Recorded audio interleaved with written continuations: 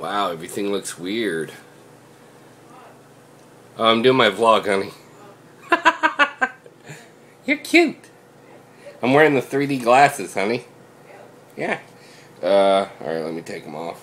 So, I'm waiting to hear back from Art, uh, my filming partner, with the magic eye who sees things through the camera like nobody else. So, I'm really hoping to have him on board for the two short films.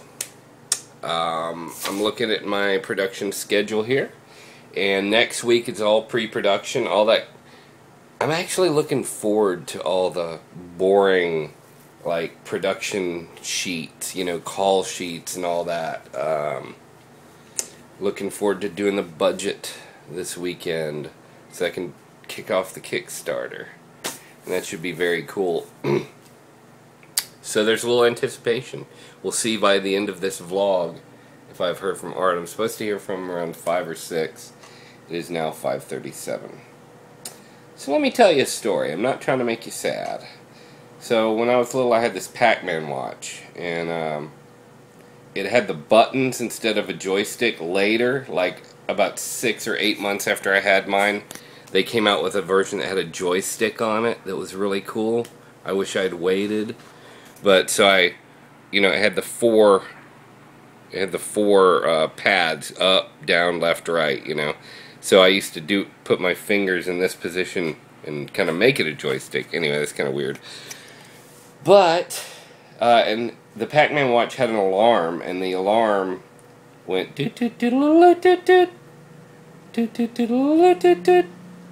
and that was the alarm sound. Anyway.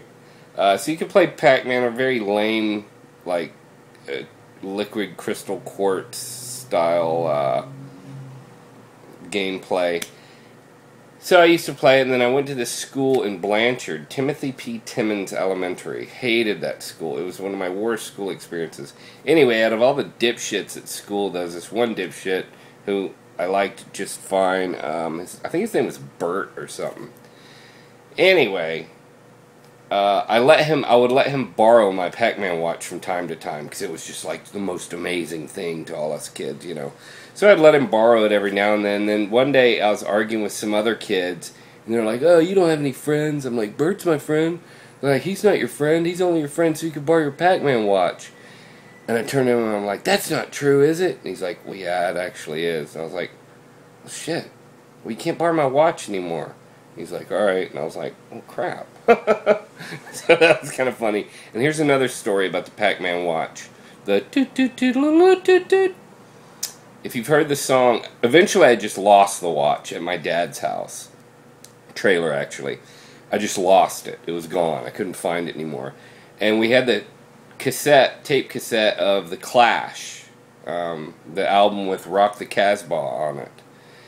And we used to listen. I don't know why my dad bought us that cassette. It was cool, but it was just a weird thing for my dad to buy. The Clash, punk rock, right? So, in that song, there's a. I know this now. In the song, there's a little toot toot toot toot toot toot. And every time we would listen to it, I would think that was my watch and be like, oh, my watch is in here somewhere. And frantically look for it and frantically look for it, couldn't find it. And then one day we rewound the song and listened to it again, and I made the connection. Duh. Alright, uh, stay tuned. I'll let you know if Art calls. Just secured another location for the short films. Uh, Recycled Bookstore, which I did last time, if you remember. Oh wow, I've made like three short films, so this will be five and six. Anyway, uh, so, um, this will be a nighttime shoot at Recycled Books. I did hear from Art, he didn't call me, but he said he's showing up.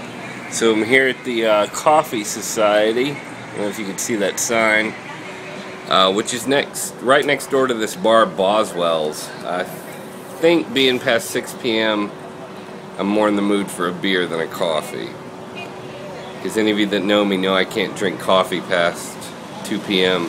and get to bed before 4 a.m. But uh, okay, I'm very optimistic, and you know, just sitting here waiting, I'm making lots of notes. Like I said, I just called and got that other location. So Kickstarter jam next. Word up.